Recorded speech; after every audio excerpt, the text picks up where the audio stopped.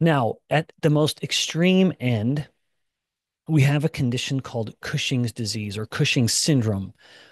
Cushing syndrome is a vivid illustration of cortisol excess. It's typically caused by a pituitary tumor or what's called an adenoma, where the pituitary gland has this growth, a tumor, and it is actively dumping out ACTH.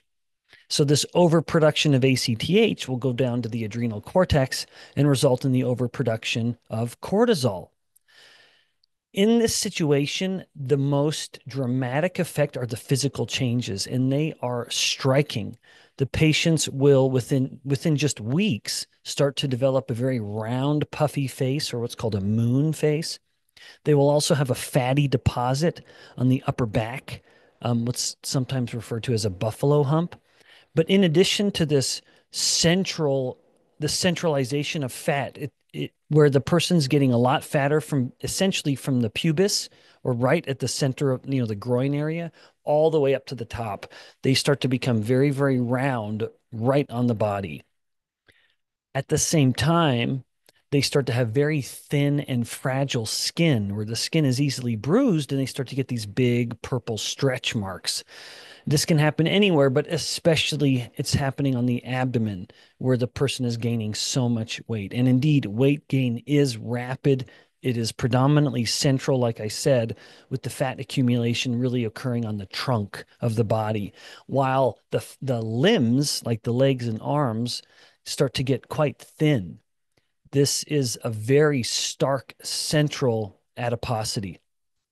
In these very visible changes reflect the profound metabolic shifts. The rapid weight gain and the visceral fat accumulation and the central fat accumulation stem from cortisol's effect on adipose tissue, while the high incidence of type 2 diabetes in these people with Cushing's syndrome points to some disruptions in glucose metabolism and insulin signaling.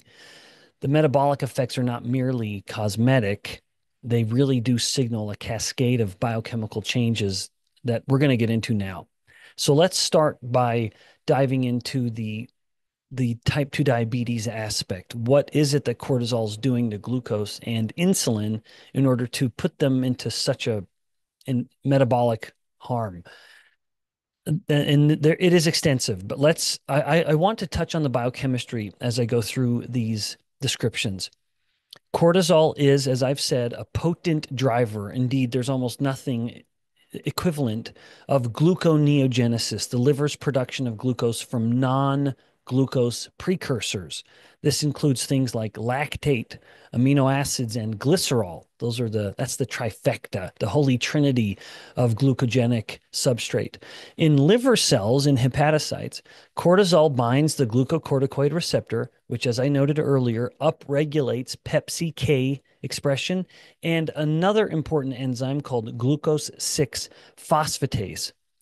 Now, PEPCK is busily converting oxaloacetate. It's if anyone, if you think of glycolysis, the breakdown of glucose, always in biochemistry, we we look at it as a kind of downward process. So, you know, pardon you'll it'll make sense why I'm sort of pointing in various directions if you keep that paradigm in mind.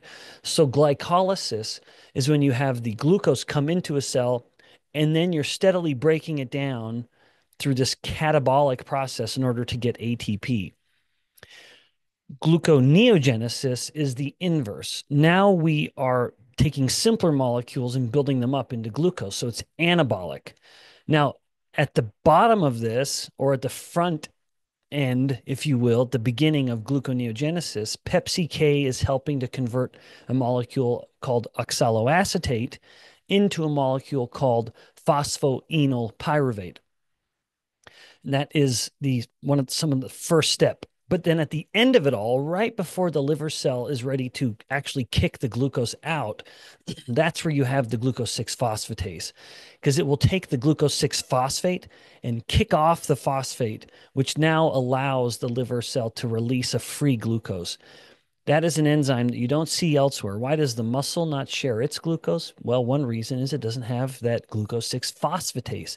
It can't liberate the glucose back into its native form.